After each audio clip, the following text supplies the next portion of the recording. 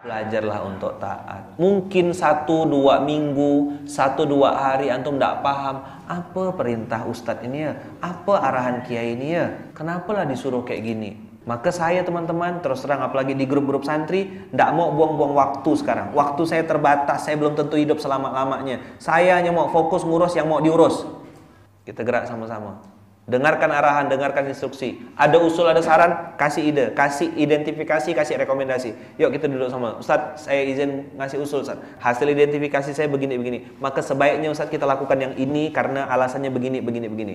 Gimana yang lain? Setuju enggak? Oke bang, kita jalan ya. Bismillah. Jadi putusannya putusan syuro. Saya juga tidak tutup telinga teman-teman. Saya buka juga, antum punya saran apa, alan wasalan. Tapi pastikan identifikasinya benar. Dan hasil rekomendasi antum sudah antum pertimbangkan matang-matang.